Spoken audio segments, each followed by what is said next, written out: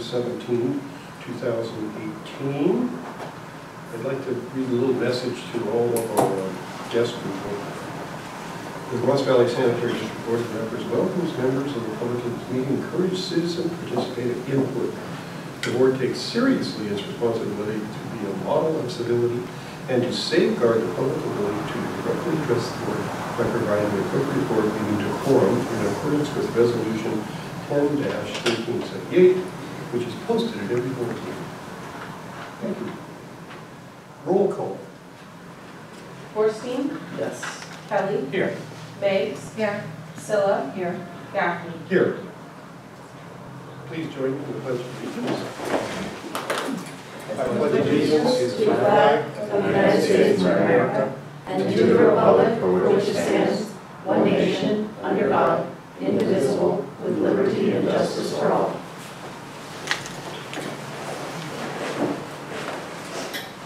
We will adjourn to close agenda. I move to approve the agenda. Second. All in favor? Aye. We're missing one. We're missing. Well, let's go through seven, open time for public to raise items not on the agenda or for future agendas. I see no I have a question. So this is me. This question, Kendra. Yeah. When there's no public, mm-hmm. Do we do you go through that every, every agenda item? Um, yeah, I mean, it's on the agenda, so you should say open time for public. No, I There's no mean, public. each agenda item, when there's no public. here. As you go down to number seven, would anybody like to discuss it when there's nobody in the room? Um, I mean, I guess technically you don't have to say, would anyone like to discuss it, if there's clearly nobody here, you have it on video too. Yeah. Um, and the minutes, if the minutes reflect. I think I there's should just say public, there's no You're not gonna get in trouble for not having it. Okay. I ju- It seems dumb, it's like those little rat mazes at the bank when there's nobody there. Well, it's just kind fun. Let's wait for Mary. She's here. Okay, standing committee reports, Um, HR committee, Mary, you want to do it? Uh, Sure. The, uh, the HR committee met on Monday. We reviewed items that are in tonight's agenda, including items 11, 12, 13, and 16D, not 16E. Um, And uh, that included, most importantly, I think, the personnel policy book, which represents a ton of work by staff, and um, I think is remarkable. Um, And and it's had the union weigh in on it as well. Um, So uh, it's, there are a few things, right, that they don't, they have not, they have not totally signed off on, if I'm correct. that are incorporated in the side letter. Right, they're incorporated in the side letter, which is something else we reviewed. Um, So, you know, it's our quar, it's our quarterly HR meeting, and we just had um, the things that are on the agenda tonight, um, which we reviewed in detail, and uh, had staff answer questions about. Michael, anything else you want to say about that? No. Okay, thank you. Finance committee.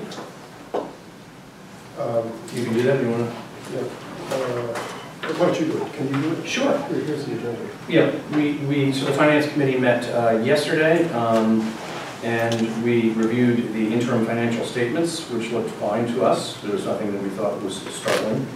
Um, We looked at the check register, we had a couple of questions on the check register. We're hiring some temporary agencies, both from Robert Half and Nelson. Nelson for different types of jobs.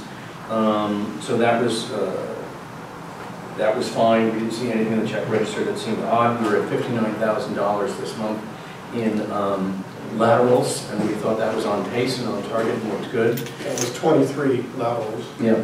And we discussed having a lateral per foot report for the end of the year. Is it the end of the year we asked for that? And Yes. ending your matrix. Yeah, and Yes. so to cite, to see and to be able to report to the State Water Resource Board how many feet of lateral were replaced and what percentage that And we wanted to include uh, ones that we didn't run, you know, the- the the public did as part of our program.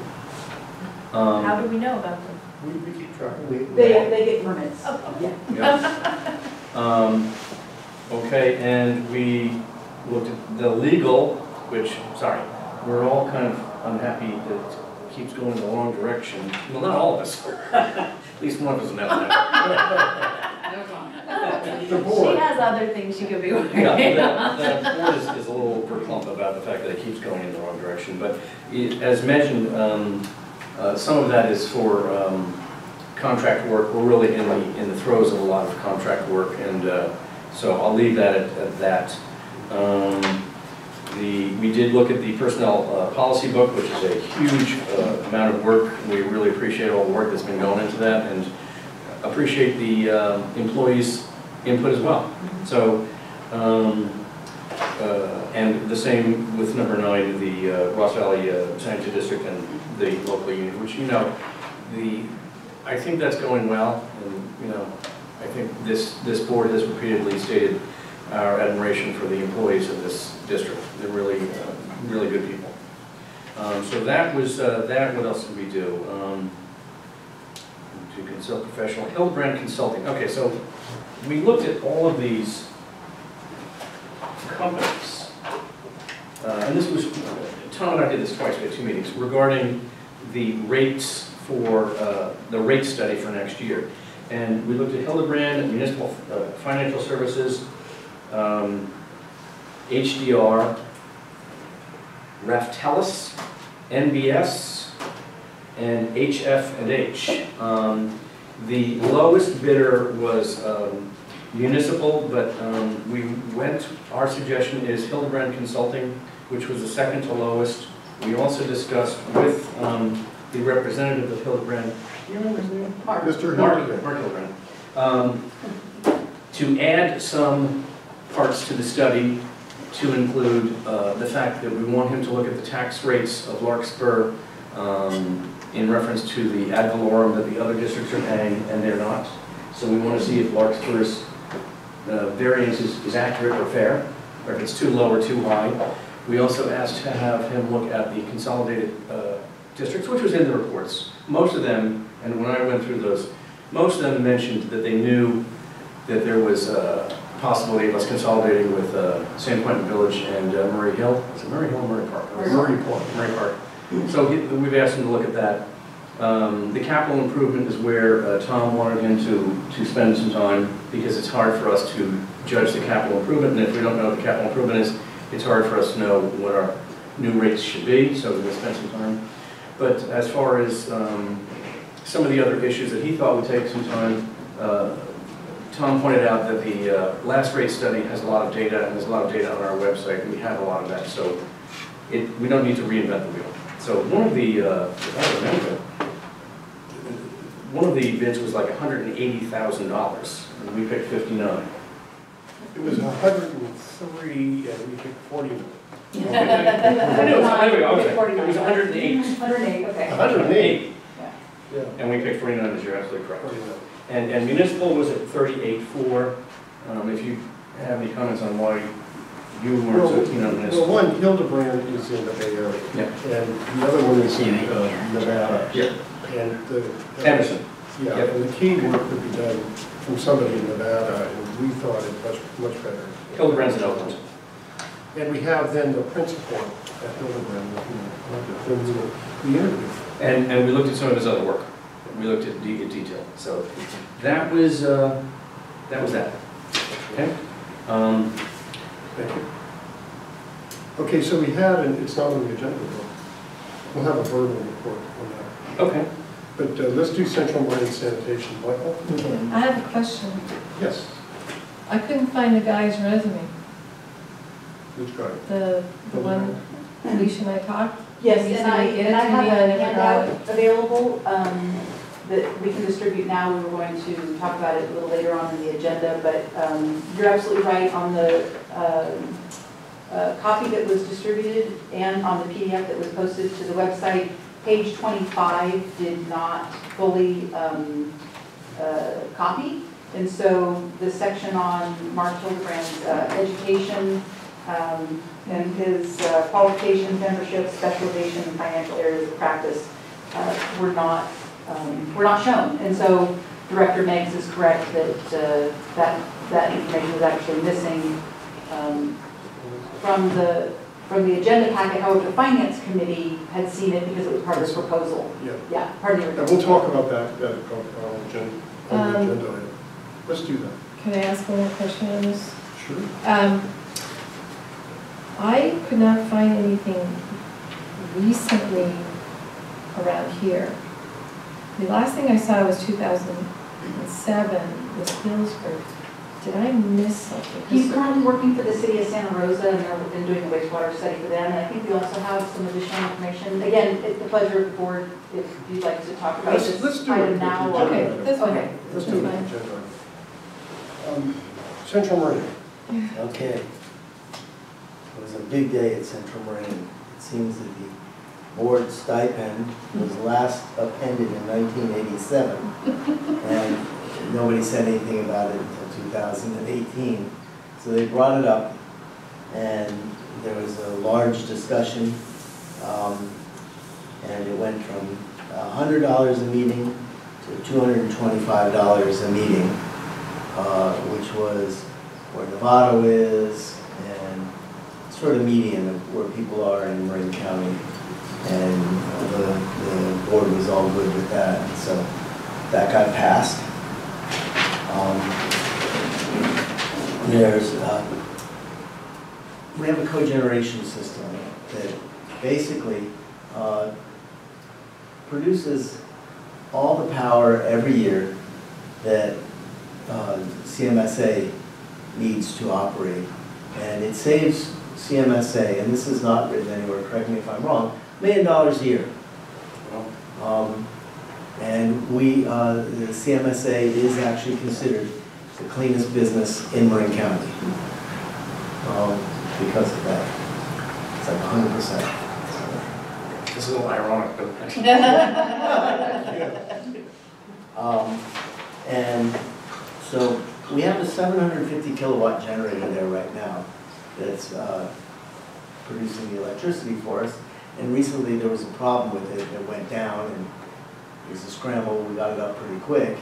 Um, So we uh, took into consideration um, having a maintenance agreement with a local manufacturer that will come on site and maintain it, and fix it for us. And so we went ahead and passed that.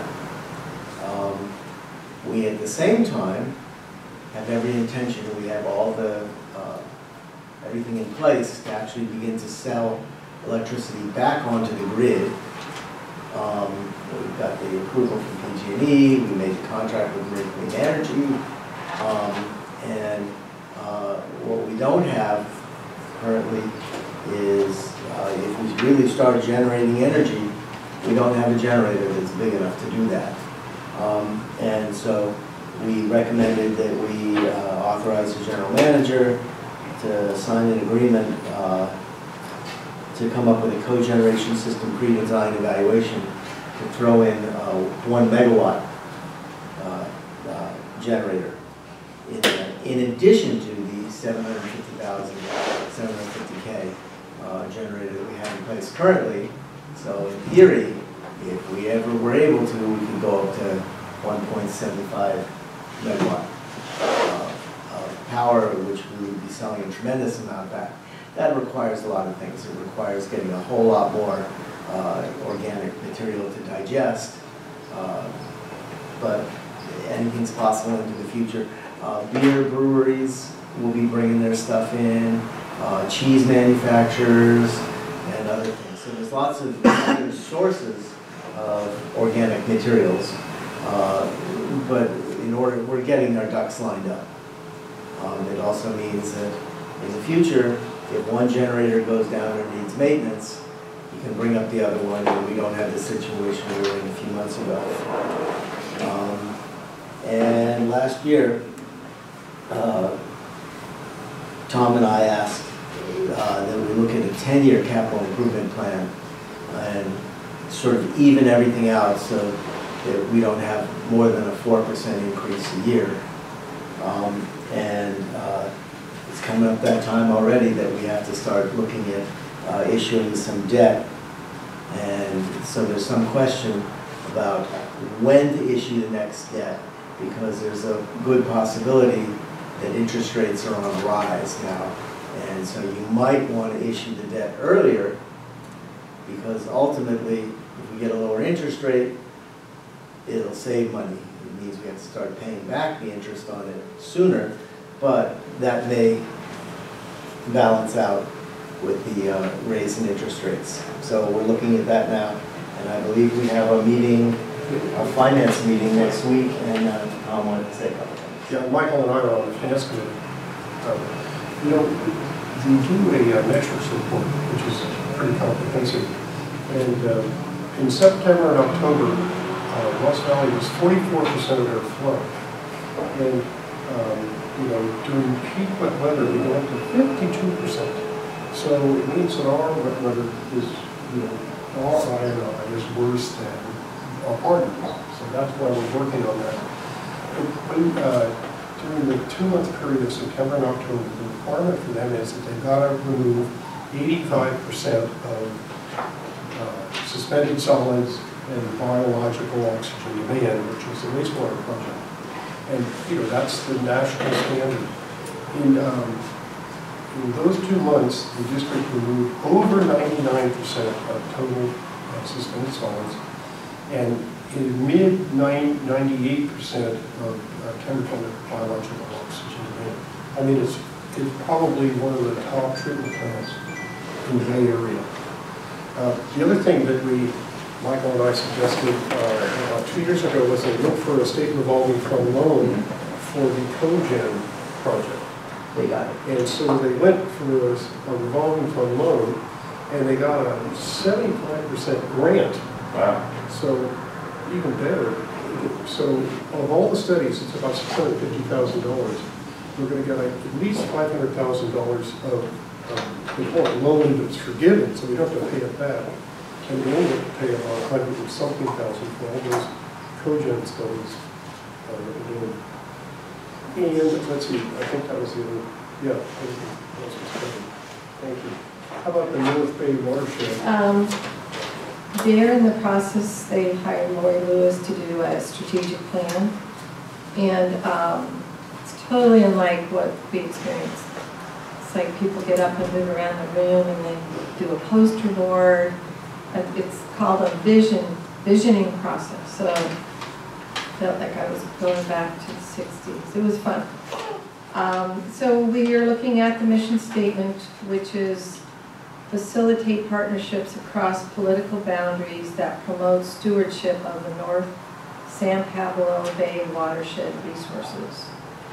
And they're sort of kind of revamping, I don't think they've ever done a strategic plan, but people had a lot of ideas, and I did not know that Grant Davis was one of the leaders who actually sort of prodded and pushed and got this going with other groups, um, and that was in the year 2000, and then having to get some money together.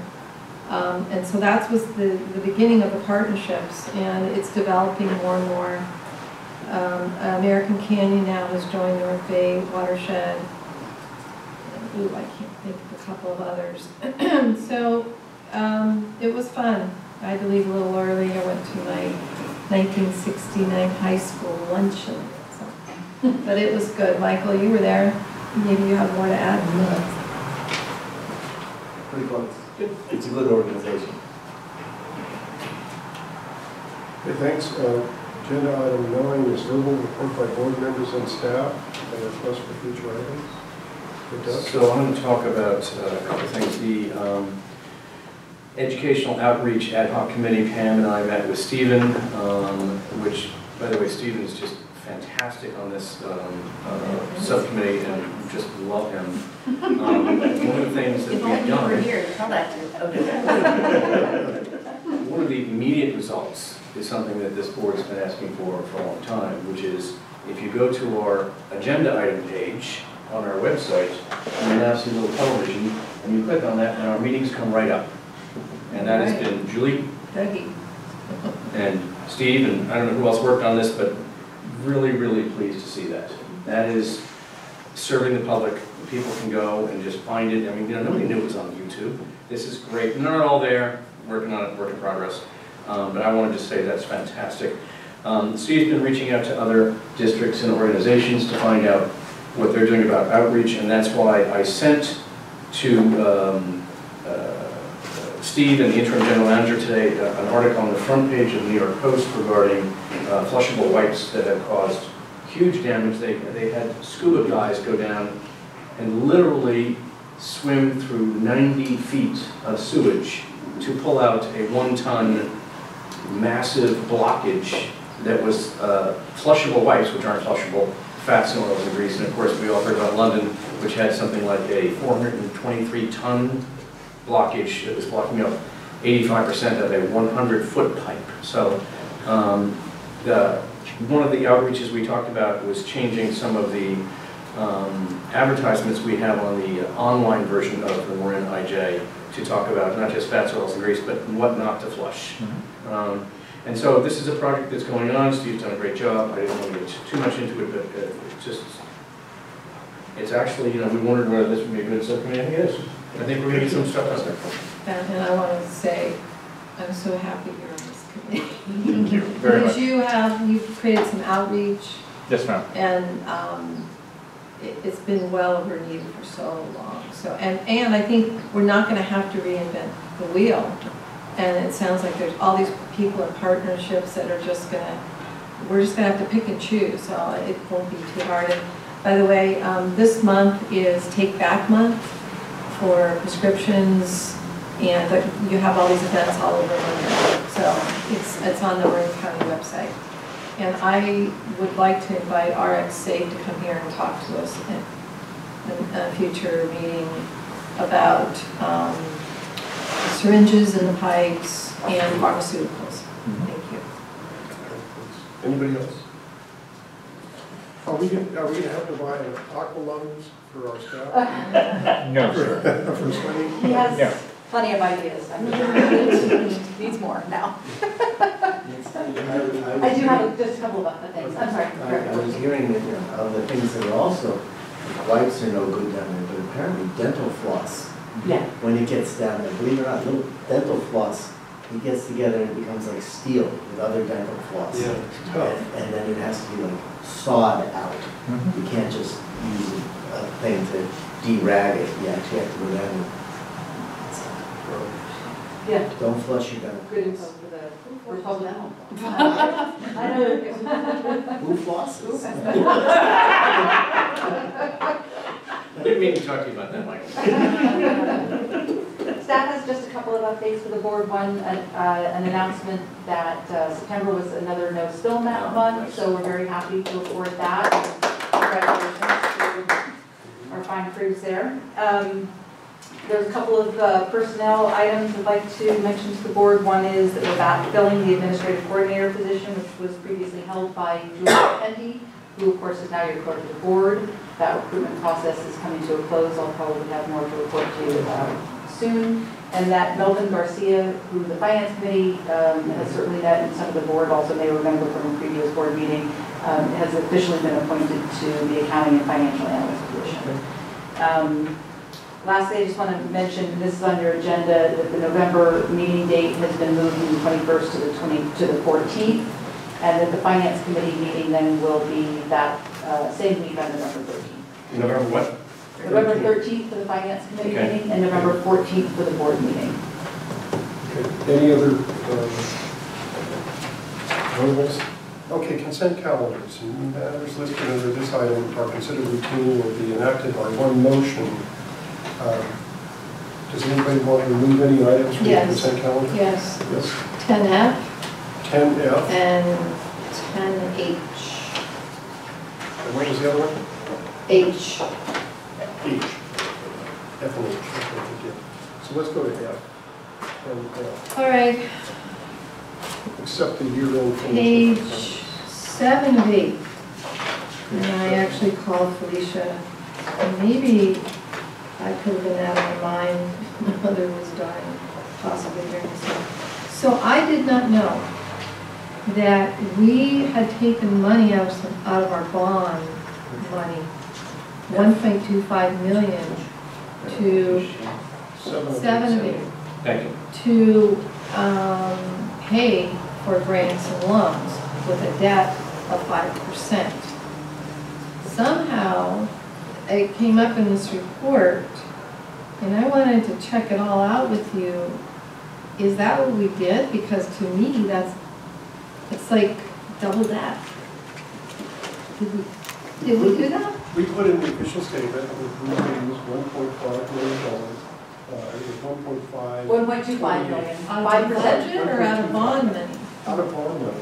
It was in the Really? official statement, Yeah, and why would we do that? Well, it's a capital project that helps us reduce our line. Yep. It's as important as the districts, um, paying, paying, uh, you know, for, for projects that also reduce our line. Now, that's my, opinion of. Uh, no, that's exactly right. I think um, Director Manx had a question about um, at what point in the process of the bond issuance that that may have been discussed with the board, and so I did go back and review the minutes, and there is some uh, discussion, and it was at the Ross Valley Public Finance Authority meetings. Um, I I don't know if you recall, but, I do, you know, you, you you carry both of these hats Mm-hmm. uh, as a board, uh, members of the board, and also members of the Public Finance Authority. And so that item was um, So what is discussed that? briefly. Okay, so five percent of one point two five million, what, what are, what is the constituent paying it? Five percent. Oh, in terms of the bond, Yeah, uh, what are debt, they paying back? What's the the debt, the debt? debt issuance. It wasn't five percent. Well, she's saying She that the, the interest on the bond is four to five percent. I can't. Yeah, it- the interest on the, the bond I is. guess what I need to know is how much Uh, No, it money. wasn't four, it was more like four, not five. It was closer to four. Yeah. Um, I, I don't know. I just, I just had never heard this before. I did- The question is, I that- never, ever heard of this. Wait a second, we, we discussed this even on the previous bond issue. Yeah. Yes, we Well, did. We had a million, that was where I had a But million. I didn't know it was coming out of bond money, and I, it could be my, what I was going through, I don't know. But I just wanted to double check, um, is this common? Is this conventional? Do, It's other- do a lot of conventional. sewers districts do this? Well, I mean, I think that the bond, I think that the lateral program is a relatively, I I wouldn't say it's unique. I mean, East Bay MUD has a, a lateral program. I think there's. I'm not talking about lateral programs, I'm talking about how you take the money. How to finance them. Yes, I don't, I know about the lateral thing, it's, Right. it's coming out our ears, but what about doing it this way? Well, I think to Tom's point, it's a capital, it's, it's been defined as a capital project. It is a I capital just- project. Yeah. It's no different than, than replacing a pipe. Well, but I've never seen it done, I've been here nine years, and I'm just trying to figure out what I feel is kosher, and not to continue the rates to go up and up and up and up and up, and this is an added debt expense. So Okay, I so- appreciate you clarifying how it happened, because Okay. I don't remember. Okay, Can I talk now? Yes, We did it on the previous bond issue too. Did you know that? no, Well, we've discussed it many times then. okay, well, I'll get the And- minutes. and- I'm talking now.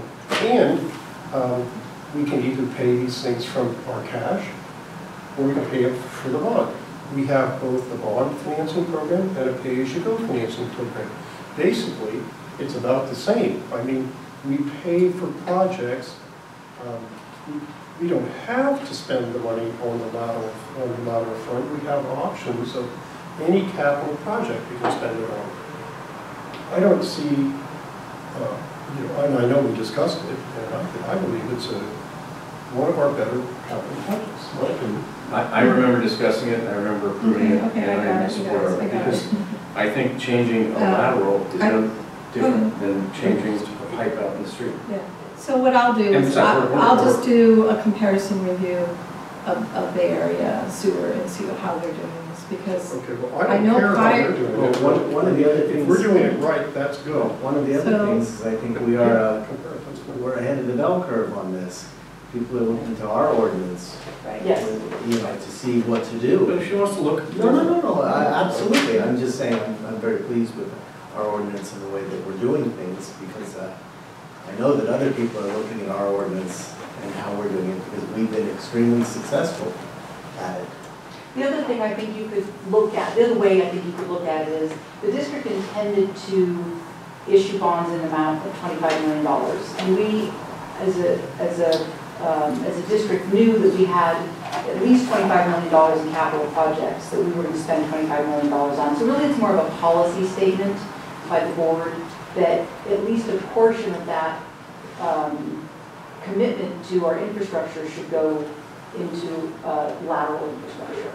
So if you look at it, not just in terms of dollars and cents, but as policy direction, um, the dollars, the $25 million was, was what was going to be issued. The fact that the board uh, said, and a portion of that uh, financing, we want to make an investment in in laterals in the district.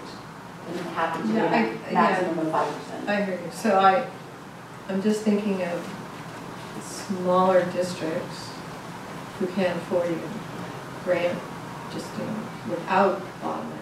They They have just don't luxury. have programs. Yeah, we have that luxury. Okay. The comment that I had on this, uh, right about that thing, was that I wanted a summary of all of our bond issues. When know, we issued three, and I wanted to have the original amount, you know, the the name of the bond issue, the original amount, the currently outstanding, and the average uh, debt service, and we discussed that in the finance committee. Uh, You know, let's, let's let everybody know uh, how much we're borrowing. Okay, and then there was uh, ten H. Yes. Um, I, I, I'm trying to discern why this came about, that you didn't want term. Because we never got to be president. No, that's essentially, nobody on this, the Ross Valley Sanitary Board pays half of CMSA, and yet no Ross Valley Sanitary Board representative is ever the president of CMSA, because we always route them out. As soon as you get in, you get a little seniority, you're out.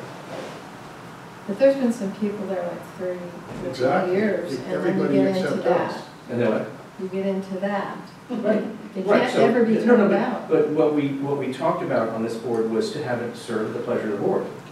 So in other words, if we want somebody out after two years, we say you're up. If we want somebody out after three years, we say you're up. Now, it just so happens that the president of the board is Diane Furst, who's being replaced.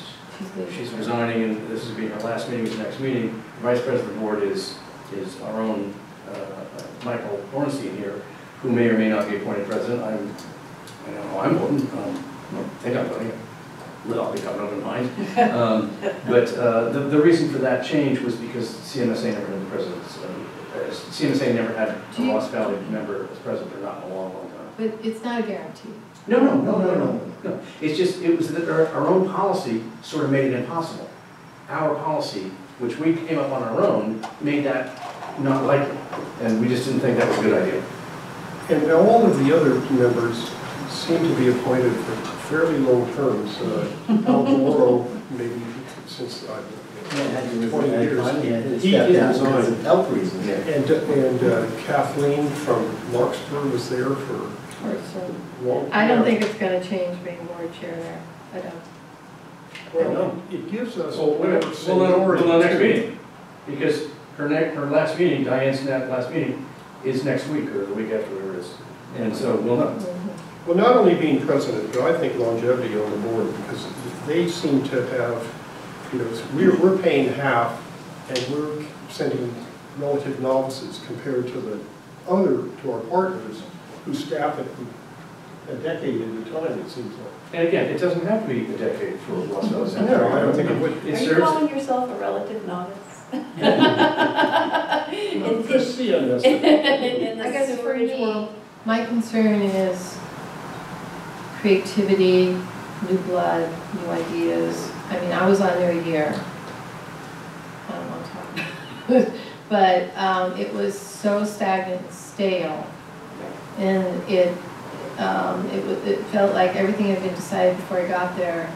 And you could not bring up anything hardly at all. And so my concern is repeating that history. So That's valid. that's, that's where I'm at. I, I'd say that Eli, what's his last name, anybody remember, in the new Corte The youngin? Yeah, the young, Yeah, yeah, he's Eli. I know, great. And I've, I've had some email exchanges with him, but I haven't had an opportunity to meet him. Um, so I'm looking forward to it, he'll join, so, you know, You know, when, when uh, we first got on, I think Michael and I, the first thing that struck me was they had no procedure for the, the the manager's uh, salary. I mean, it just I came brought to that us. up. And we completely reversed that. Well, good for you. Made them adopt Central Marin. Um, We, uh, we got on the finance committee, and completely changed the, the cha, you know, how the finance committee works and what we did. Uh, Michael and I, um, the NPDES permit when we were there, so we really, I think we have made some inputs. They wanted to do an eleven point four million dollar project, which is gonna be thirteen point five million dollars. And we, wait a minute, this is a project without any merit, and we stopped it. And they, and actually the board, you know, started to think about this. so I think we've got a chance to make changes, but we do better if we've got a little bit longer on there. That's my opinion. And that's why we did it. We may, we may just keep changing every Yeah. two months, I mean, two years, but who knows? But that's a good point. Yeah, We don't have to do it. So, uh, We. any more comments here? Oh, you go a comment. Well, I just want to talk to the two of you about the financial issue and the power of cogeneration thing that I ran into at the CM, at the CSA, CASA, I guess it's CASA. That I hope that Jason is taking a look at, but you two in particular would, would find that valuable. Well, he's on, the- these are the two CMSA people now. Oh, boy, all right. See, I'm off, because we keep rotating off. And now that I'm on, I decided that was a bad idea. Okay. I didn't understand, what, what do you mean? Um, A guy made a presentation there talking about storing methane, pumping it, keeping it in a tank Oh, yeah. during uh, base pricing times. And then running a generator during peak time where the value of the electricity that you generate is about a hundred times more. And Or some multiple, or, It, it is way up there, there are three, there are three tiers, and the peak, which, which can be, needs, be started very quickly and stop. Uh, The methane is worth a whole lot more during that time, and that's a time when the sun, it's usually late in the after afternoon, solar. after the solars, night. Did we, do we have a chance for that? Uh, We looked at storing methane Yeah. at CMSA, it's very expensive. Yes, and, but this guy, one is, there's a guy from Berkeley who's working with Santa Rosa on a, a way of getting more methane out. And the combination of that and the tank, uh, it gets a payback in about three or four years. And thereafter, you get, Yeah. We are searching for uh, sources for methane. See, we get um, waste from restaurants, even Central Marin, and that's a pretty good program. What we need are some breweries and some cheese whey. We've got two new breweries in there, in San Rafael opening up.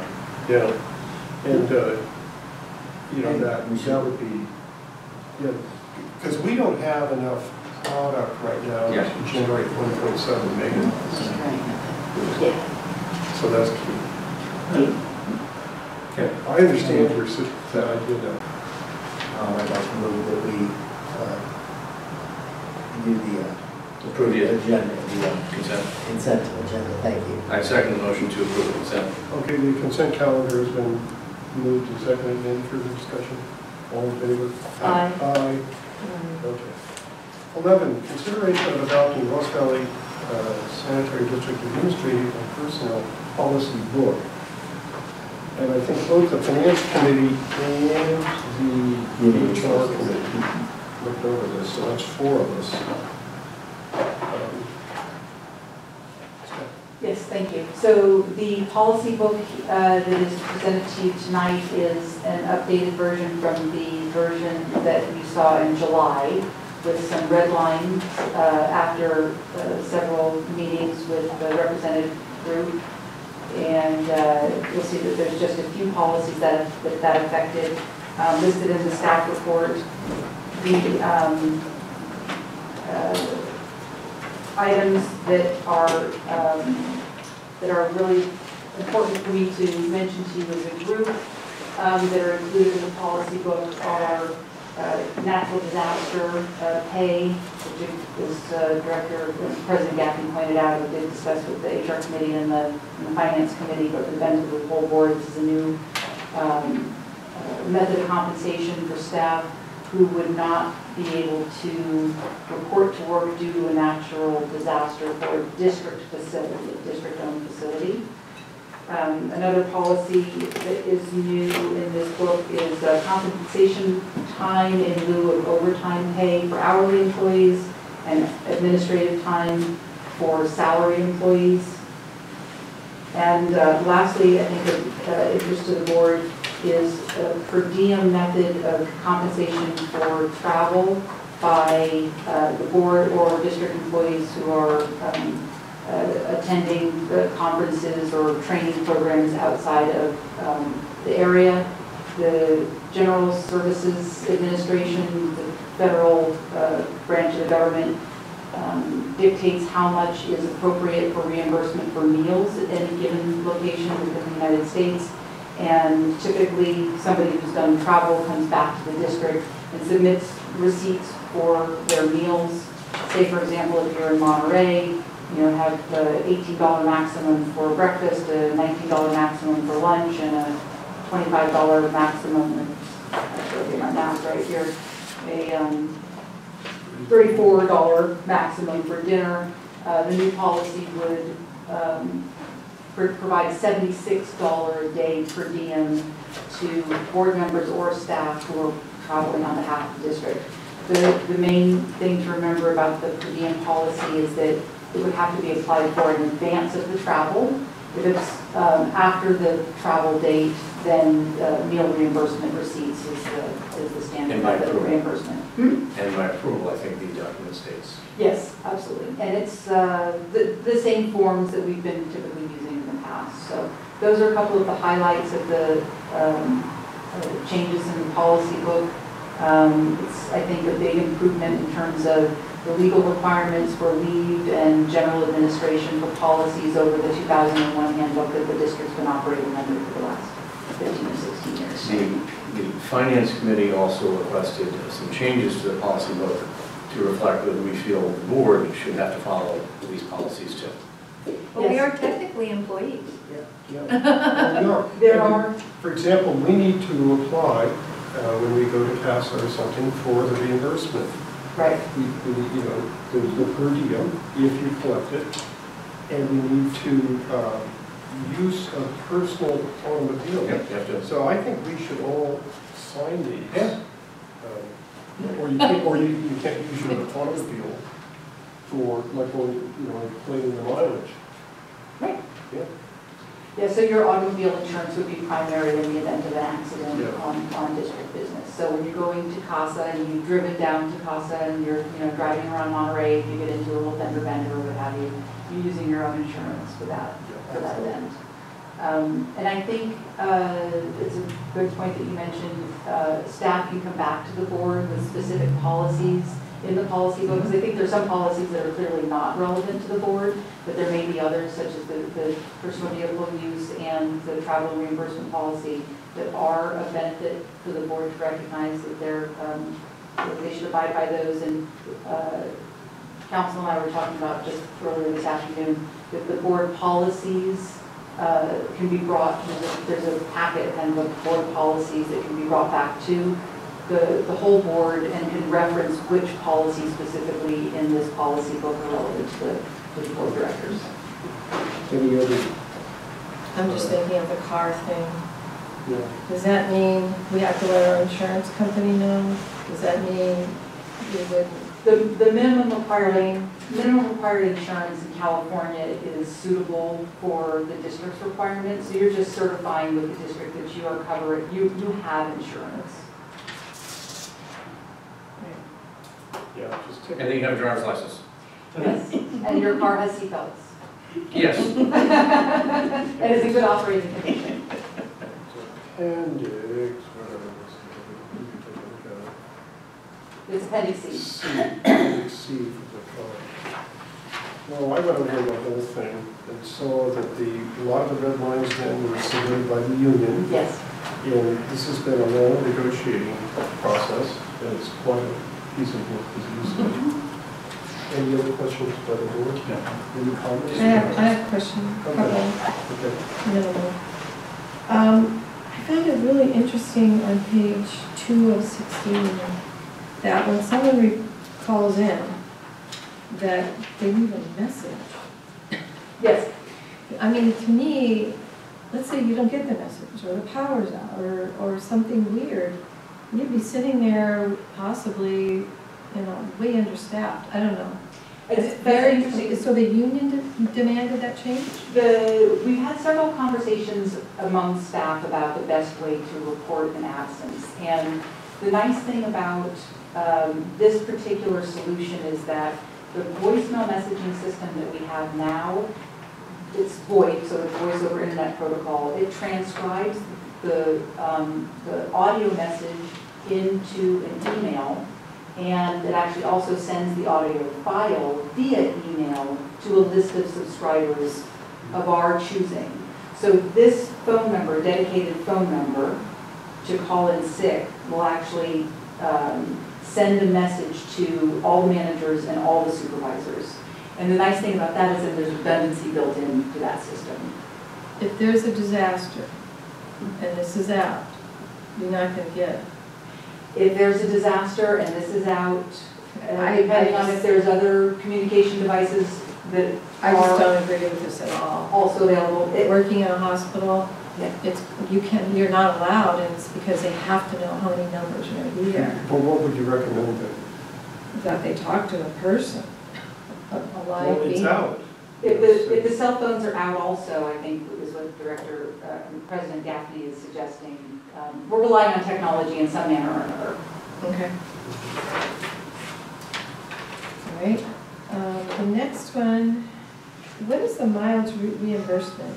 What, what it- It's approximately 55 cents a mile, but it changes every year. Okay, Oh, well, not every year, but I think it- It's a federal standard. it's a federal standard. okay. We can Google it. And then, um, on the uh, dress code, Yes. What page is that? I'm sorry, um, four dash three one. Um,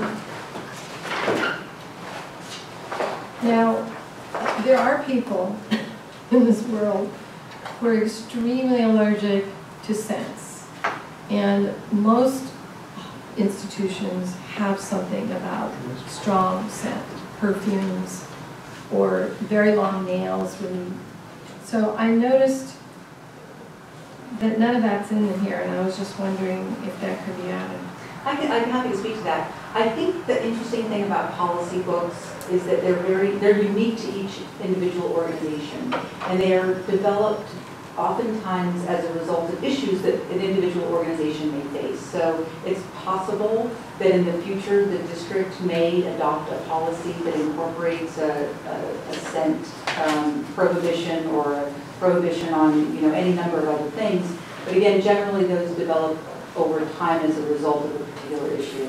The philosophy that was developed, the philosophy, the underlying philosophy of this policy book is if it's, if it's not a problem, then we don't necessarily have to address it as a, as an issue. So it was, it was less is more. Right, but people do have allergies, and I've seen people leave their jobs because of this, so I just wanted to give you a heads up. Yeah, I appreciate that, and I think the opportunity to update this policy book, it should be taken every year, uh, and not every 15 years. Okay, that's it. And uh, since it's a policy book, we can take, you know, one page or something out of it and bring it and amend it. That's right. and move it. And That's probably right. would have to go to the union to take, it's not easy to amend this. Oh, I know what I wanted to say, I forgot, sorry. Okay. And the media contact, the next page over, What, what is the page I can't? uh, page four dash three two, it's the last section, I think, Four dash, three two. Policy four, policy four oh nine, four dash thirty-two, four thirty-two. So, we've had long years of discussion about getting um, the Marin TV station in here to make our meetings live. And the equipment is pretty reasonable, and I, it, Greg said, oh, yeah, yeah, yeah, and then everything else sort of, you know, the aggressive CIP and everything, so it kind of got by the wayside, and I'm, I'm wondering, um, I don't know, I just think it's, I mean, they have planning commissions now that are live. That's because they're in town council chambers that are already set up for that. We'd have to have our meeting somewhere else. No, we don't have to have it, so Here? I'm just saying, this room would have to be wired up by the Marin Community Television, Yeah, as, as many of the town council chambers already have. and I think, think it wasn't that much, it was under a thousand. But anyway, I just wanted to know what happened to that, was it sort of lost in the shuffle, is there no interest, or, I think there's absolutely an interest in that, and it certainly would be. we might get some more people. Well, it would, it would certainly be um, more efficient for staff when we have our own facility and our board meetings are happening. And, Want that building. and, well, you know, in a regular location, as you know, uh, well, I don't know if you do know, because we haven't gotten to that item yet, or did we talk about it? Uh, No, we didn't. Okay, so the November 14th meeting, this room's not available.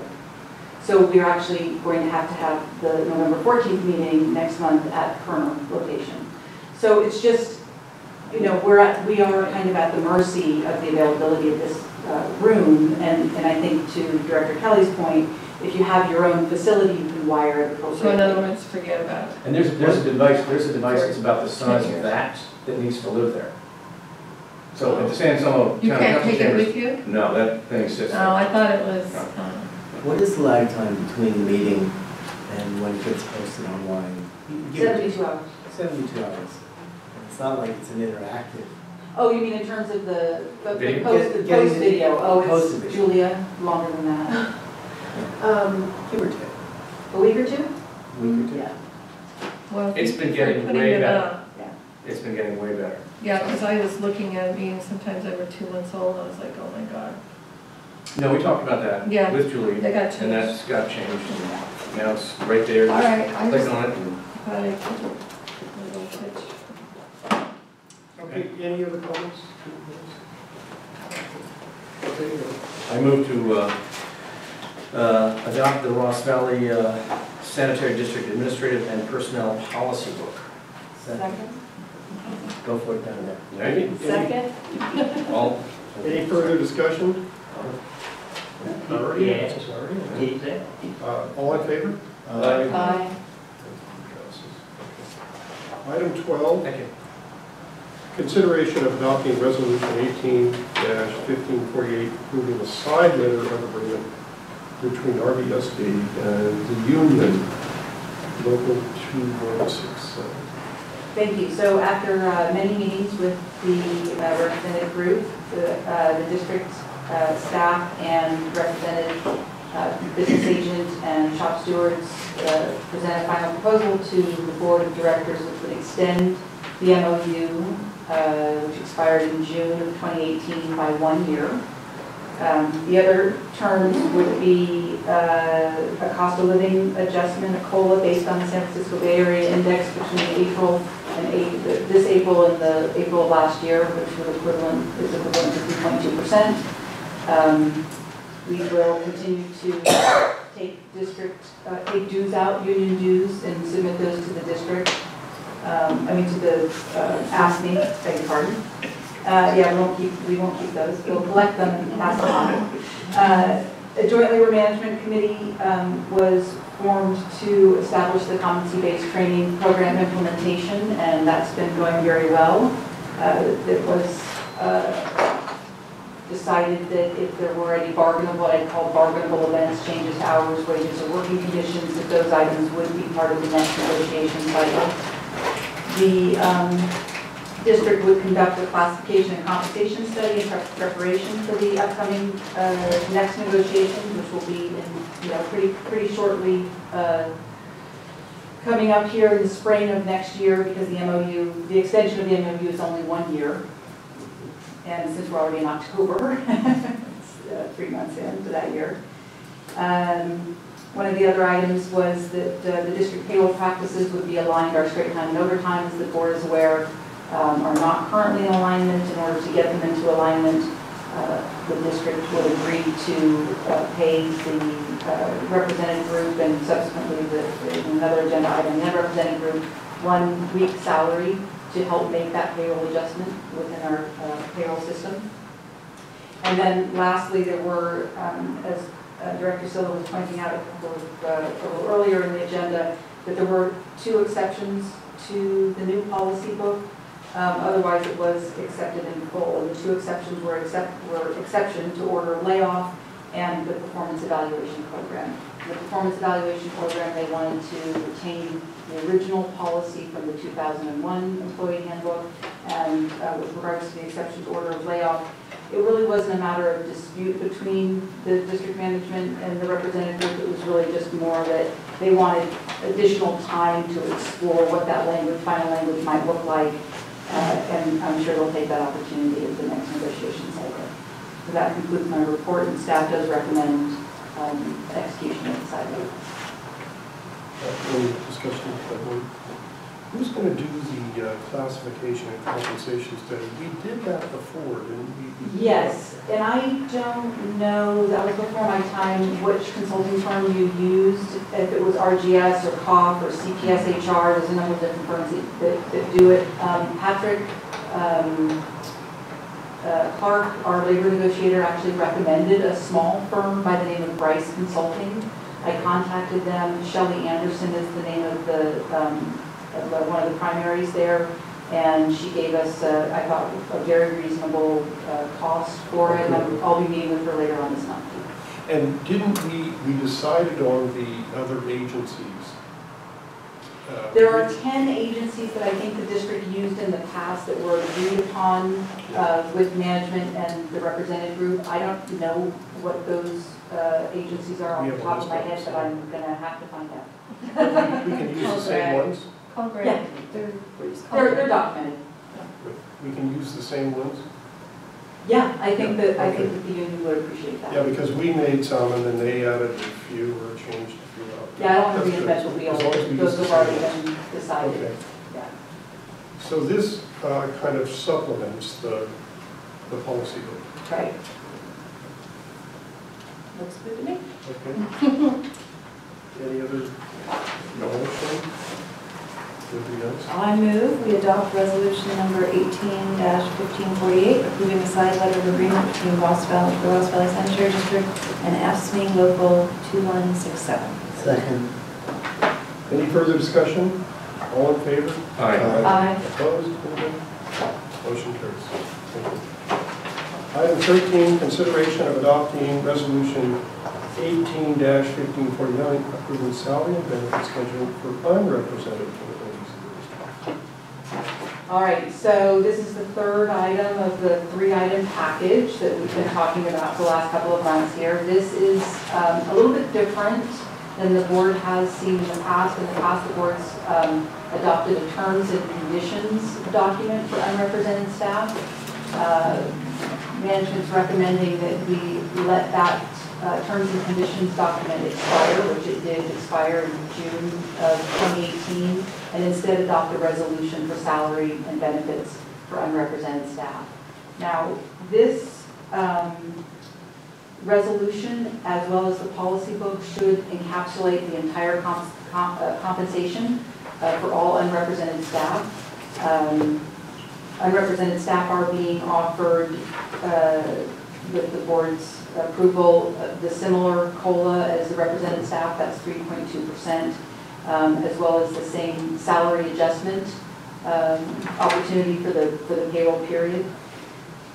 The, the council, uh, I think, would like to make an amendment to the resolution to add a recital with regards to contract employee, employment.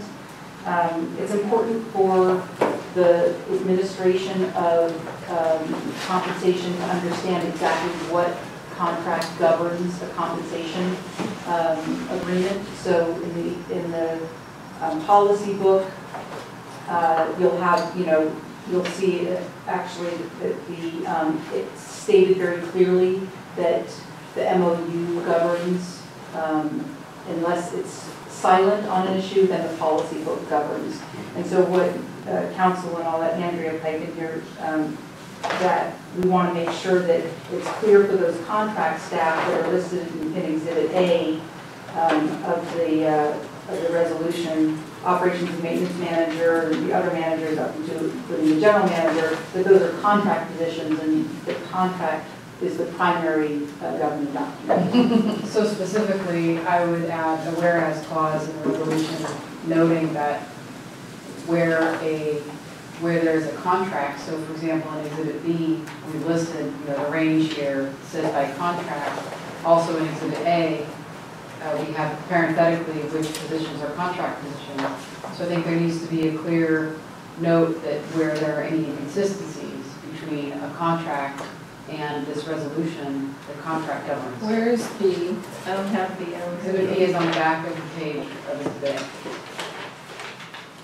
So the the document already goes some way to note that, that where there are contracts, things are a little different, but it doesn't quite go all the way to say, and where they both address something, for example, COLA I don't or see the whatever. whereas either. What- I, I, I'm suggesting that a whereas be added. Oh, okay. Yeah, that, that would be the amendment. To Just to clarify that if, if both a contract and this resolution address something, but they address it differently, then the contract language governs. Okay. And I'd like to give a a very, I think, clean example of that, which is the general manager's salary. The general manager's salary listed in the exhibit for the resolution states a monthly compensation of nineteen thousand dollars. Well, that salary was based on Greg Norby's contract. And you're in a situation now where, you know, you're going to be negotiating a new contract with a new general manager, and whatever that contract amount is should govern, not this resolution. Okay.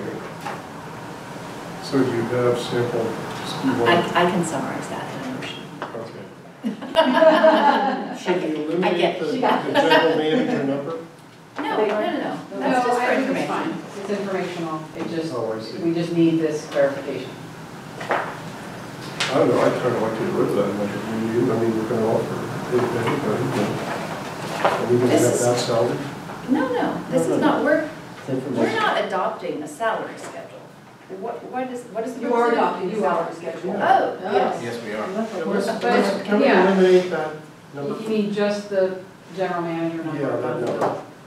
Right, because it doesn't have a range either, because here we have it's by contract for the others, but it's a It's by range. contract. And the general manager one is different, that it's Yeah. a specific number based on what the contract says to, you know, said a few months So ago. I just put general manager by contract. Take that You could absolutely take that out, I had to. Just cross out the number. But again, that's only one example. Yeah. There could be others, you know, Exactly. un- not contemplated in our Right, as conversation. contracts get negotiated. Right.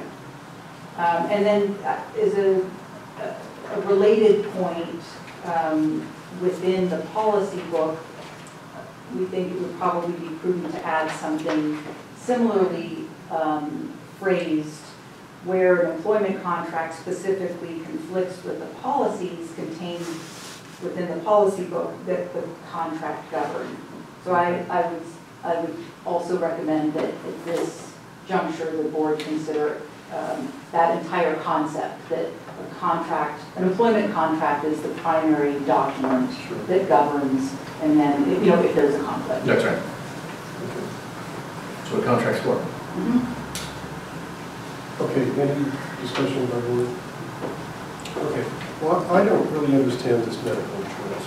Okay, so two, let- uh, so let's go like, then that's on, it's two, attachment A.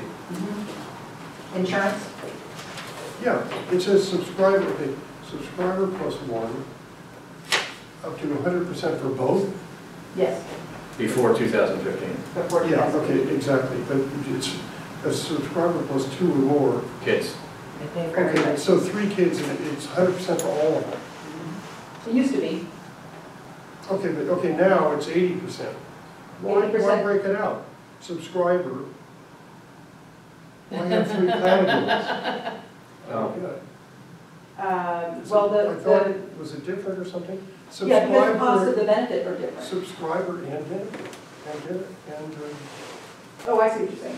It could be just say subscriber plus, Eighty percent of total. plus dependents. eighty percent total, yes. Uh, uh, Up to eighty percent of the price are supplied, yeah. This, this, this language was negotiated back in 2016, if that helps at all, and it was part of the terms and conditions document.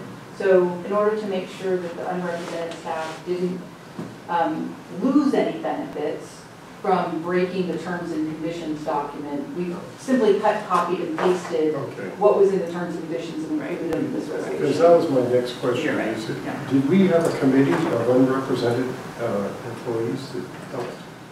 Not this year, no, this year it was just previously. straight, uh, Yeah, there, were- I mean, I don't know if it was a committee, but, uh, yes, there was a group of unrepresented employees who at one point made a, an argument that um, a memorandum of understanding or a letter that was that laid out was actually a controlling binding contract. I remember that. Yeah, Okay. I was gonna say that. Okay. Do you remember that? You weren't on the board at that time. Yeah, it was- I I remember that we we had a, maybe that, we had a vote on it. uh, Okay, back when Wendy was here and Daniel McPherson? no, Yeah. It was, no, what happened was, uh, I didn't think you'd been yes, around it that was. long. Yeah, no, we were here when Wendy was here. Okay. Yeah, and the. Wow, my mind is, I'm just losing my mind. Yeah, un- unrepresenteds came and spoke at Right, the meeting. and there were Remember, they tears. didn't want us Right over to here. change it. Yes, We- yeah, yeah. Um, yeah. It got a three two vote. Yeah, you're right, these three bullet points makes it seem like those numbers are gonna change at some point, but they are just consistent. Okay. But it's just consistent, okay. very clear. Okay, Are you ready? Okay, I move that we adopt resolution eighteen fifteen forty-nine, approving salary and benefit schedules for the unrepresented employees of the district, um, with an amendment uh, to the resolution that says when an employment contract and this resolution are in conflict, the employment contract controls. And that could be, that could be an whereas. Are you gonna, are you gonna say I think to, that we're- I second Yeah. that. to, do we need to say? Oh, and, and we're going to eliminate the salary figure for the general manager, given that it's not a range. Yeah, just the number, yeah. Okay, uh, is there a second? I second it. Second, wait, any further discussion? All Wait, wait, favor? wait. So, uh, anybody from the public want to say anything about this? Okay. Um, All in favor? Aye. Aye. Aye. Okay, great, thank you.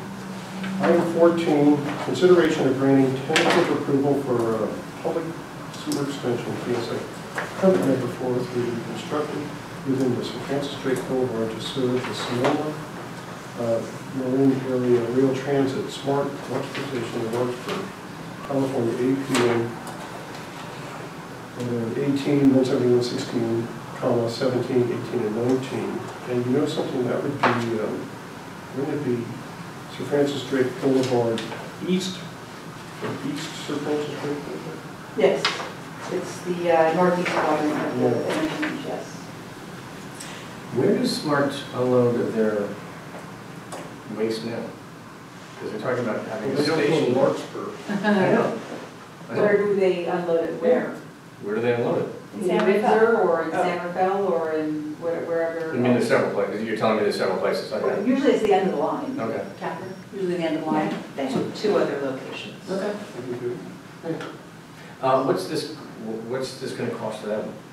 Uh, well, it's gonna cost them about fifty or sixty thousand dollars to do the public sewer extension, then it's gonna cost them another sixty thousand in connection fees. Let's put in an Okay. amendment. And we're not giving them a discount. And they're not a low-income development.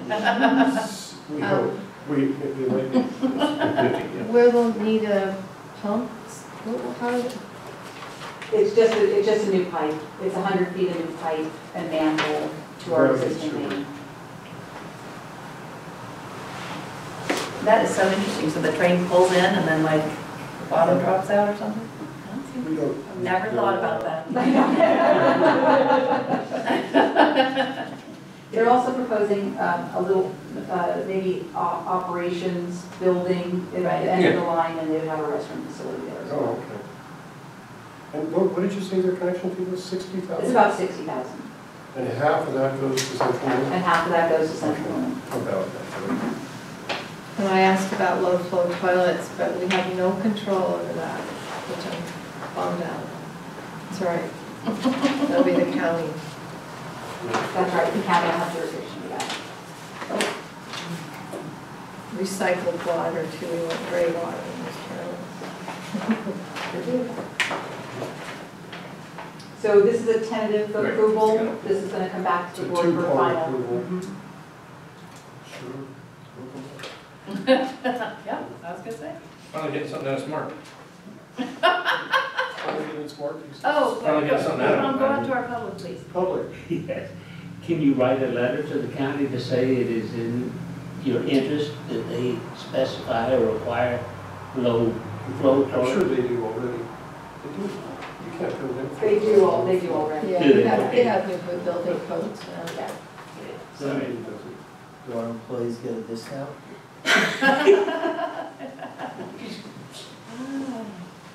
Okay, any other questions?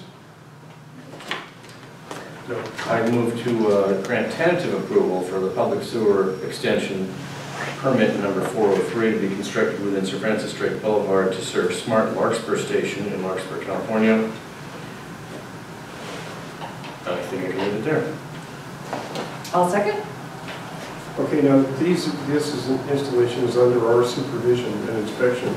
Yeah, we get what we want, okay? Uh, Any further discussion? All in favor? Aye. Uh, Okay, thank you.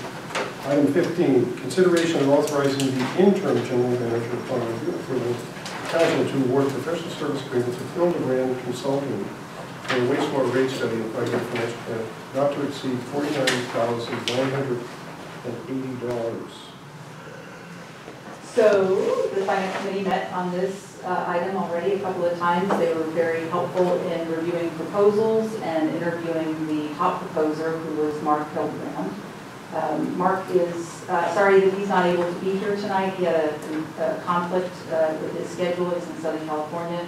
Um, But upon the um, board's review and approval of his uh, contract tonight, he'd be delighted to kind of introduce himself at the November meeting because he does very much look forward to working uh, with the board on this uh, rate study.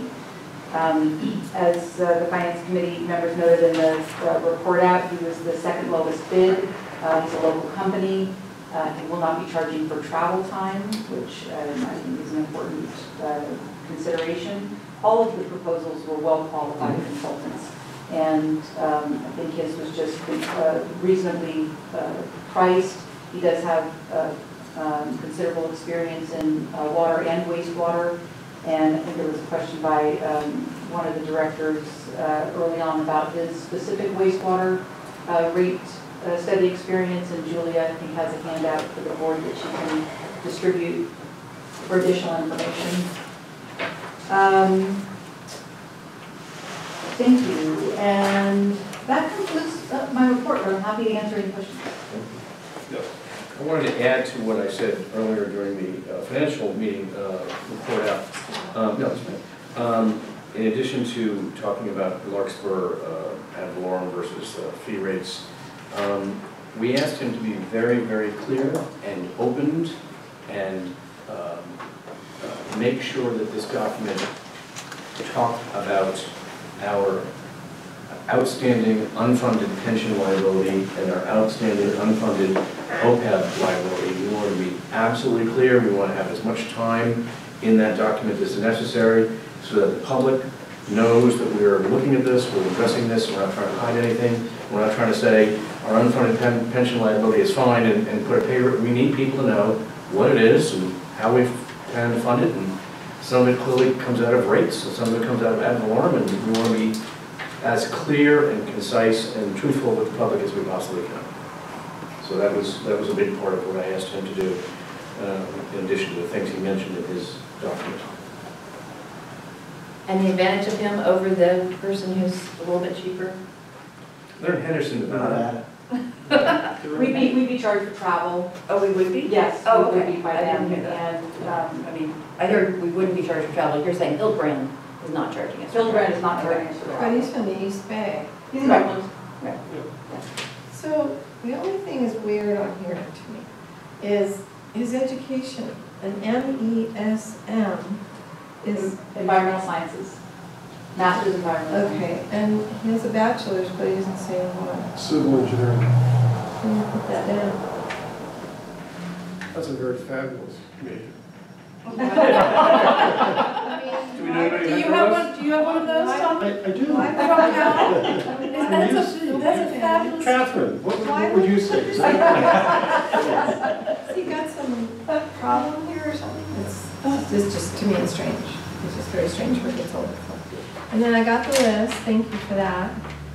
Um, and, and you all think he's done a lot in wastewater, even though. These are all wastewater studies on his list. Because it keeps saying city, city, city, city. This is Full service water rates. Oh, thank you, okay. All right, I mean, Uh, We like him, uh, and then I have to admit, I personally know the other no bidder. And I think it's guy's good. okay, thank you. And uh, I do think being local is key. Well, And, and take a look. Oh, and he also had about five thousand dollars of that fees for optional items involving the consolidation. Oh, So we, we So it may might use him be- or we may not. Okay, so this I may- think it was about five thousand dollars. the, the, the other thing is, if you look at the other ones, yeah, there, there was one that was less at thirty-eight, he's forty-nine, so that's eleven, but the next one goes up to seventy-eight, There was a Right. big jump. 89, 97, and hundred and eighty, he's, he's less than half Raftelis. who did our rate study It last? was a. Age F and H, yeah, it's seventy-eight thousand dollars, Gee, that, Barncoff, right, and Right. they, and they, he lives in San Anselmo. He did it twice. well, he used to, he grew up there. But No, uh, I, I mean, I remember knocking on, oh, oh, no, that's right, his sister lived there when I was a I think he lives in the East Bay. Okay. Walnut Creek. But, um, yeah, And he should have half the work done. that's what I think, or he has the format Yeah. now, or, yeah, I was very surprised. So how is this guy's public speaking? Oh, he was Yes. delightful. He was- Because He was really good. the guy we had before, I didn't, do you remember? Yeah. And we had these massive people in the gym, right Yeah. over at the basic Kept camp or whatever. And there was some way he just did not Right. gather, gather the people. Well, it was a very, yeah, it was a very contentious time and he was a little bit top down. Yeah. I don't think he we're gonna have that situation, but. Well, I I was- Mark was delightful. I, I really enjoyed his personality, it was? Pam. It was good. What? I really liked Mark's personality. Okay, good. That's important I wasn't even on public. board yet, Okay. but he would You get up and explain why the rates, and when it was for Brett, he would get up and explain why the rates had to go through the roof and it was, it was not a, it was ugly. He didn't work. No. Well, I, I'm hoping, and I, this board has spoken this in public a number of times, I'm hoping that we're not gonna be putting the rates through the roof. Right. Well, yeah, exactly. In fact, we have a It's nice to hear Doug. potential policy. I was thinking we might adopt. And I'm sorry, a I I policy. apologize, one thing, just on that. And we also told him that. Uh-huh. You think that's gonna change his numbers? Well, we- at- Yeah, we're gonna at C- change At it. CMSA, which is half. All of- We're I, gonna- I At don't at. CMSA, which is half of our budget, we worked very hard over the past few years to get them to basically commit to keeping an absolutely, we know. You've gotta raise your rates. You've got to. Well, we have to raise our rates, but we know what the rate raise is gonna be for the next. We locked them in to We three locked them in. point five percent. And- and I wanna be clear. They're half our budget. One of, one of the complaints I have with Marin Municipal Water District is some of the people who ran said they weren't gonna raise any rates, and what happened was, they put themselves in a hole, Yeah. and their credit rating goes down. If you don't have some consistent dedication to the cost of living increases, the credit ratings are gonna screw you. And then the cost of bonds is higher, and the cost of, uh, um, uh, state revolving funds for you may be higher, so it's, it's, it's not in the best interest to not have any rate increases, it's just in our best interest not to suck it to people when they're already getting sucked. We have left and to, we have to keep up, Yeah, that's right, because if we fall behind. especially with the cost of then- then construction later- going up. Then later on, we're screwed at the other end. Yeah, Well, listen, it's patent folly.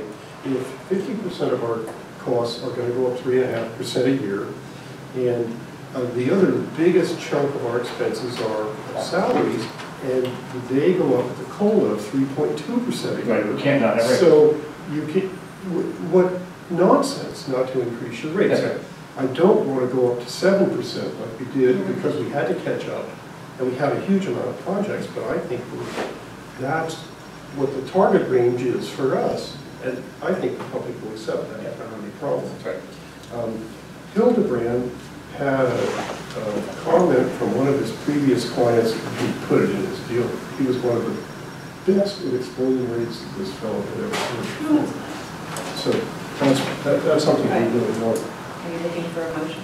Yes. On that note, I move that we authorize the interim general manager upon review and approval of counsel to award a professional services agreement with Hildebrand Consulting for a wastewater rate study and five-year financial plan not to exceed forty-nine thousand nine hundred eighty dollars. Second. Okay, any further discussion? No? No? Uh, okay, All in favor? Aye. Aye. Good. thank you. Okay, let's go over the 16s. The first one is the performance metric. Six thousand. Oh, we had 6,000 as a, as a um, optional. Well, we might do Consolidation, yeah. that if we get involved with, we might do not all of it necessarily, if we get involved with Liberty Park. Oh, okay. Any comments on the matrix? Um, yeah, just when, on the second, on the table one, um, Okay, number number one, A. uh, after, You're you're on B, you see. are, are we on this yet? No, we're on A. Oh. We can get to B. Well, I want to uh, commend the staff for getting the uh, smoke testing done before the Yeah. schedule came up. I have never seen that. Uh, No spill report again for the month of September, which is fantastic. Now, remind me, we had one spill last month, was it? Last week. Last week. Yeah, October, but we had no spills in August, no spills in September. Um, Then one. no, we. We had one in capered- August? Yeah. We had one in August, thirty gallon, and then no spill in September. No spill in July. Yes. No spill in July. And the one in advance, uh, that will be next month report, what was the spill um, in October? Uh, right now, it was at thirty-three Scenic Ave, uh, San Anselmo. Uh, we calculated at a thousand, I think ninety-five gallons. We recovered seven hundred though of it. And it was, uh, the guys did an amazing job. We had a very What long was the cause of that? Uh, pipe failure of a sewer line going right in the middle of a storm drain. Of what? Storm drain, Storm drain. so. And 27 point repairs. I think this uh, calls and staff hours is really an interesting one. That, you know, a lot, a good share of our calls are private SSOs, and uh, we go out and do what we can to help them. Yeah, that's really key.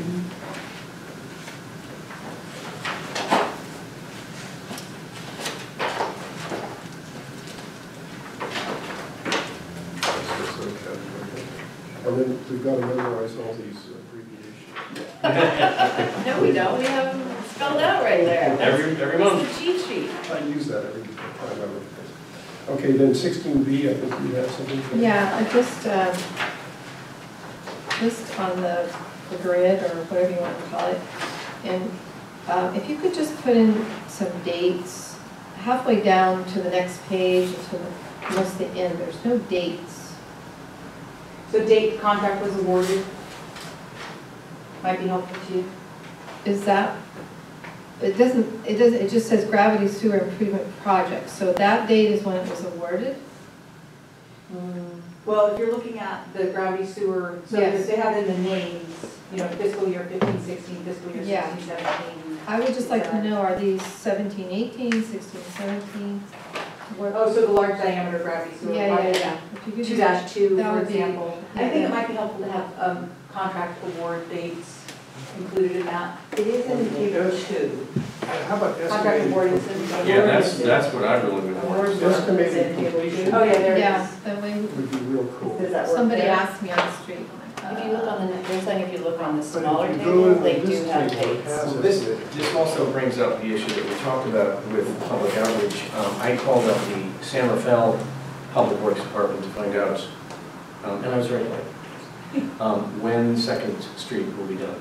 Because I don't know if any of you traffic, you do, because you live in Fairfax. You know, Second Street, they're doing work at night, thank gosh, because um, in the morning, they're kind of cleaning up, but they got two lanes shut down on Second Street, and it's challenging. Um, The answer to that is, by the way, it's Thanksgiving, and it's mostly PG&E work. Um, But this is the kind of thing that I, why they, and we don't do it too, so we've been asking this, why don't have, they have a big sign right at the beginning, San Rafael Public Works, PG&E work, estimated completion date, Thanksgiving 2018. You know, I, I still want that for our projects because I think it'd be very helpful. Um, And again, the, the, the sandwich board things with our logo and our, our name and, and people realize that their money's getting spent wisely. There is a beautiful sign like that on pump station fifteen. Yeah, there's, big one on pump station So- fifteen. It is, it Not is valid an anymore, NV5 beauty, by by the bike path, the pump station right near my house. Yeah. Yeah. Which I never go by. Anticipated, anticipated Michael. completion would be a great thing to have. So my, my lap, so PG&E above my street is ripping up the road. And I thought Greg had kind of already put out feelers to let everybody know when they do work, we try to do work. But this has been going on for weeks, the road's closed. I think it's probably gonna be as bad as Scenic, which was closed for three months, I think, by the time we finished. Because we're like the skinny road, woodsy, narrow and winding. Right. So do you keep, is there anything we can do, because to rip those roads up there and then replace them is just, I think to the best, reopen, reopen.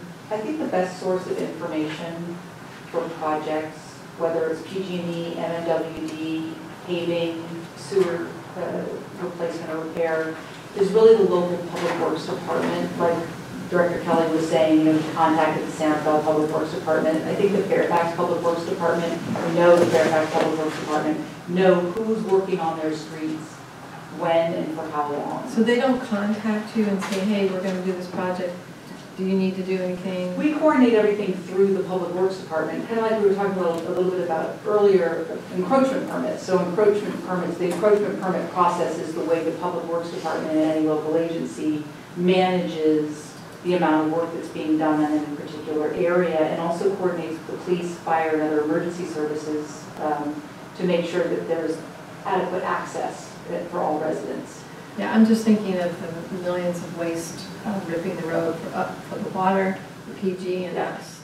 And that's why they do moratoriums, and those are also uh, Yeah. administered through the Public Works department. So you, you really don't get notified by, Not about PG&E projects, wow, that's true. unless we're coordinating with the Public Works Department through one of the, where we do a monthly or every other month meeting with the Public Works Department to, and talk about what anticipated projects are going to be coming up, and all the utilities are invited to those. Utility management meetings, mm-hmm. It's just crazy, just a There's a lot of- Waste of taxpayer. A lot of I mean, that's what, when Greg first came on board, he said, if there's one problem I wish we could solve, it's coordination of who's doing Right. what, Yeah. ripping up of concrete Sam- when. Someone's good at that, better than most. Yes, and it's almost great, but I don't hear it anywhere else, and I just keep seeing these projects, and I'm like, I feel like asking these questions, it's almost like it's going nowhere. there's a lot of construction fatigue. I think Second Street is a great example of that. You know, it's like every time you turn a corner, it's like, oh, great, here's another construction project. Don't go near there. Okay, well, That's the summary, we've got uh, forty-seven million under construction, we paid about, uh, whatever it is.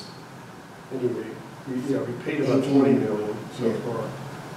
Eighteen point seven. Yes, we thought about that before. Okay, sixteen C is the year-end metric report, and the finance committee had some comments on that, it's things we wanted to see. Yep. But it's not available yet. So it's gonna come up next. Can you remember, you had a couple? No. I wish I could. It was, um, it was getting the, the, all the, um, Lateral- summary lateral. information. Lateral footage, Yeah, uh, Height footage, high footage, and. Re- replaced, repaired, laterals. sent myself an replaced, email. repaired. Yes, I Is that what I it did was, where we wanted to see the status of the NPDES permit? And the status of the NPDES permit, Because we yes. promised those, we, even five years, we wanted to see those. Okay, sixteen D is the HR. And this is mostly staff. level. And just as another note on that last one, didn't we have um, approved some software so that we can have, Yeah, yeah, sure, right? Pension, sure, so. no, no, no, uh, some money so that we can have a, a a board Oh, up yeah. front, like what the CMSA has. Yeah, the dashboard. A dashboard iDash. to look at these kinds of things online when, when that information is available, and hopefully eventually have it online Yeah, on our website that people could look at. absolutely. Yeah. Yeah, that's a, uh, another innovation, I think, of our operations and maintenance manager mixes today. You know, another, on It the dices, project. it slices. It does indeed. Steve, you, you went to a meeting, you told us, that, um, it's kind of related to projects here, to explain, uh, the training program? Uh, we went to Sewer Summit this morning, and Jim McPherson and I did a presentation on competency-based training, and I thought it went really well. Yeah, how many people? Um, probably about hundred and twenty in the room, Wow. but there was several hundred that they, they had four different tracks, and it was an amazing time. And, and many of them said to you, we can't possibly do that, we're too small. Most, And you're way larger than us. yes. Yep, And are we? No. Just mighty. Any Did I HR ask committee you- want to dig into D? Oh, Tom, could I Pretty ask a quick question? Sure. Uh, Are, are the assets of Ross Valley Sanitary District in the MarinMap? Uh, See, it, uh, Yeah, we're in Marine Valley. yes. Okay. They, they're available to members only. Mhm. So yes, the MMWD, anybody who's a member can see our infrastructure. You have to all pay of the for that, information on right? it. You have to pay for that, right? We Um, pay annual. a lot of the agencies, or most of the agencies are members. Okay. And, and we have that ability also to get information from MMWD on I think it's like twenty thousand dollars or twenty-five, something like It's that. ten thousand for large agency and, and six thousand for smaller. Oh, okay. A year. And that's done, uh, run through the county, right? It's administered through the county. There's a county agency, it's its own Somebody, entity, yeah. but there's a county agency who does the bulk of the work. And then we're going to sixteen E, legal activities. Uh, It's the highest of the year. so But it included a lot of labor work, the Well, contract work. On, on, to defend, there was six thousand two hundred ninety-five on environmental compliance for Larkspur Landing. Um, personnel matters, another two thousand, and then construction contracting, eleven. Um, the general legal services at fifteen. Uh, does this Liebert Cassidy line items I saw in the check No, it register? does not. Yes. Yeah, it does. Oh, it Does. that's right, okay, I asked that question. Oh, yeah. Good. It does include. Where are they? They're under personnel uh, matters. Yeah, but maybe it was more than that. It was more than that. It was I like mean, two it might not have been the 5,000. same month, Different month. different month, Oh, okay. different month, okay, there was eleven thousand or twelve thousand. Yeah, right. This is about work done, that's about billing, Right. What the bills we paid. No, it was about seven, it was. Yeah. I just want to be sure that it's being No, I included. know that. Yes. Okay. um, Let's go back to the, That's it. We've already done next our, meeting, November. we did, our- we did our last things earlier. Yeah. You know, That's, that's key. We really covered a lot without twenty minutes to eat. Thank you, Tom. Well, I think it's lot of that is Thank the, the work that the human resources and and finance do to make sure we're ready for this meeting. Yes, I agree. Uh, I realized that there was one item I didn't report out to the board that I meant to, but maybe you're all aware, that we um, suspended construction work at pump station 15 through the winter months. And part of the reason was, um, you know, we were having some trouble with the bypass pumping. The, the VFDs, which is kind of the, Um, variable the variable frequency drives which control the electric motors are, were delivered to Sacramento, but still need to be calibrated before they could be delivered, and then they were gonna be delivered in, like, by the end of October, and we were starting to hit, again, the wet weather, and we just thought, you know, we've had enough trouble with these, with this particular project, that it wasn't worth going out on a limb and sort of experimenting with new equipment out there. Pump Station 15 is going to be operating just fine the way it is through this wet weather season, and we will uh, remobilize construction in the spring. But we will be That's why using the it's wet so well. quiet. We will be using the wet- the well. wet well that's in pump station fifteen, Yeah, whatever construction that's been um, completed so far. completed so far, we'll continue to to use. But we, we just, the construction management team felt that it was, that was the best decision, and the contractor agreed to no mobil- remobilization costs Great. So it's not gonna cost us anything. Right. So I apologize, Thank you. I don't know. Earlier in the agenda. That's good to know.